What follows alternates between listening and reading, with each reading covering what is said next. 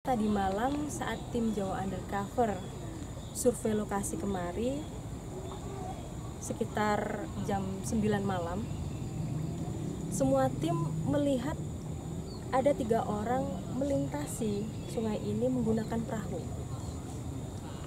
Setelah itu eh, tim Jawa Undercover mengkonfirmasikan hal tersebut kepada Pak Keli selaku pengawas kawasan ini beliau berkata satu-satunya uh, perahu yang ada di sini itu sedang rusak dari bulan Desember lalu.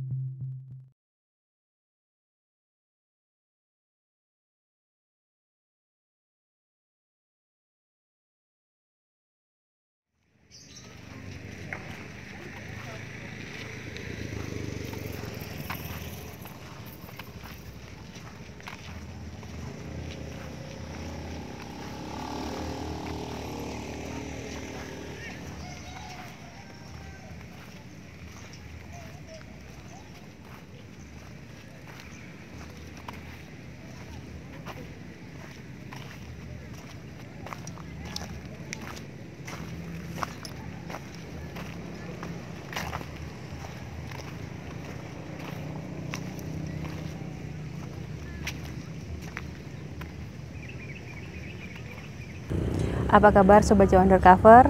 Kembali lagi dengan tim Jawa Undercover dan tentunya dengan saya Woro. Saat ini kami sedang berada di kawasan Sungai Beton, Kota Solo, Jawa Tengah. Sungai Beton ini dikenal oleh masyarakat Solo sebagai salah satu tempat paling angker. Banyak peristiwa-peristiwa mistis yang terjadi di sini uh, sejak puluhan bahkan ratusan tahun selain dikenal sebagai kawasan yang angker, sejarah menyatat bahwa di sini pernah dijadikan tempat oleh PKI untuk membantai masyarakat yang tidak sefaham dengan mereka. Oke, ikuti penelusuran kami di tempat ini dengan tetap stay tune di channel Jawa Undercover. Pada zaman dulu, Bengawan Solo memiliki nama lain yaitu Bengawan Beton atau Sungai Beton. Bengawan artinya sungai besar dan konon sungai besar ini terbentuk sekitar 4 juta tahun silam. Dengan demikian, sungai ini telah ada sejak zaman purba dan bertahan hingga hari ini. Bengawan Beton lalu berganti nama. Nama barunya ini diambil dari nama Kiai Gede Salah yang merupakan tetua desa Salah tempat yang menjadi perpindahan Karaton Kartasura ke Surakarta. Sehingga sungai ini kemudian dikenal sebagai Bengawan Sala atau Bengawan Solo. Perubahan ini terjadi setelah Karaton Kartasura dipindahkan ke Desa Sala. Sobat Jawa Undercover, tepat di belakang saya inilah Sungai Beton. Pada tahun 1965, lebih tepatnya 23 Oktober 65 gerombolan PKI menculik dan membunuh uh, sejumlah warga dari golongan nasionalis dan agama di sini. Dari beberapa sumber mengatakan bahwa uh, Saking banyaknya korban saat itu, air sungai ini pun menjadi merah, bercampur darah. Bahkan konon bau anyir darah baru bisa hilang setelah banjir bandang melanda kota Solo pada bulan Maret 1966. Oke, uh, setelah ini kita coba untuk tracking energi untuk mengetahui lebih lanjut tentang tempat ini.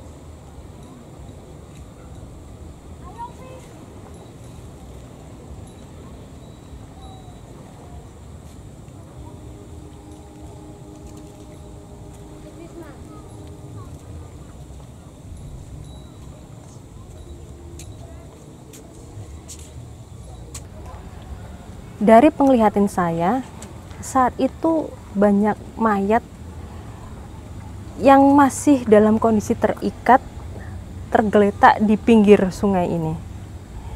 Ada juga yang hanyut terbawa oleh arus aliran sungai ini.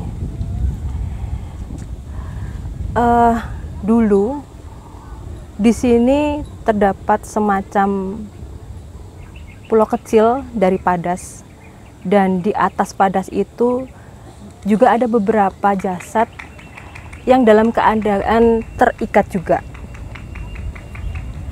Dari tracking energi yang saya lakukan menunjukkan bahwa Padas tersebut e, merupakan pusat energi gaib yang besar. Jadi seperti salah satu tempat e, berkumpulnya makhluk gaib di aliran sungai ini sampai sekarang. Walaupun padas tersebut sudah tidak terlihat lagi.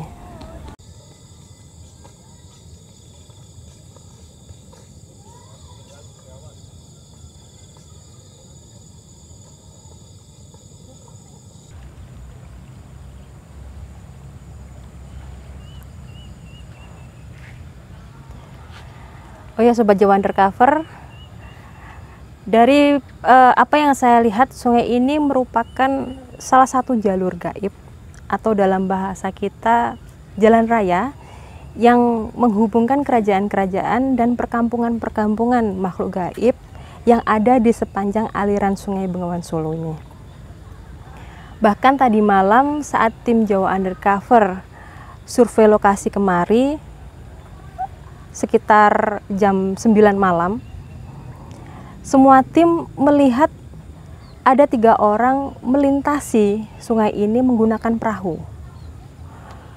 Setelah itu, uh, tim Jawa Undercover mengkonfirmasikan hal tersebut kepada Pak Keli selaku pengawas kawasan ini. Beliau berkata, satu-satunya uh, perahu yang ada di sini itu sedang rusak dari bulan Desember lalu. Di sini terdapat sebuah pohon tua. Dari tracking energi, uh, di sini sering kali menampakkan diri makhluk gaib berwujud seorang perempuan yang berambut panjang terurai hampir menutupi seluruh wajahnya.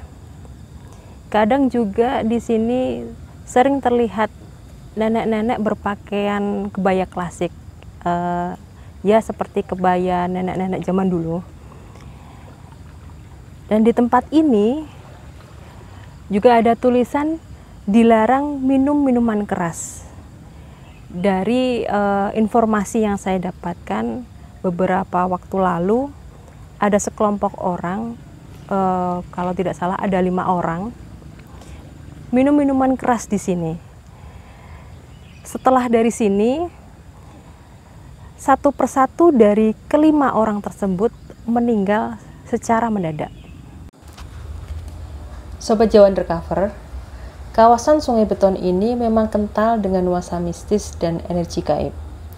Selain karena kawasan ini pernah menjadi tempat terjadinya sebuah tragedi kelam di kota Solo, sampai sekarang aliran Sungai Bengawan Solo ini juga menjadi tempat melarung abu jenazah bahkan ritual-ritual pembuangan sial atau energi-energi negatif sehingga membuat makhluk-makhluk astral seperti terundang dan berkumpul di kawasan ini yang kemudian bermanifestasi dalam berbagai bentuknya.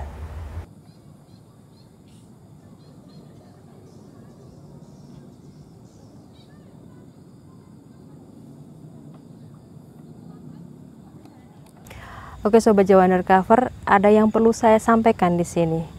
Bahwa saya hanya menceritakan apa yang tim kami telusuri, pengalaman apa yang kami dan saya dapatkan dan rasakan. Ini tidak bermaksud untuk menyebarkan faham mistis, klinik, dan sebagainya. Percaya atau tidak, itu kembali kepada diri masing-masing dan hak pribadi Anda. Anda bisa abaikan apa yang saya sampaikan tapi mohon jangan abaikan sejarah yang ada. Terima kasih Sobat Jawa Undercover, sampai ketemu di episode berikutnya.